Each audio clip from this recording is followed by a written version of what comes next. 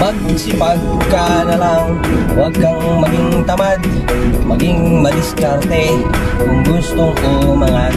Sige, kumayod lang upang may pambigas Nang sa pamilya ay hindi ka pabigat. Toing toing toing toing toing toing toing toing.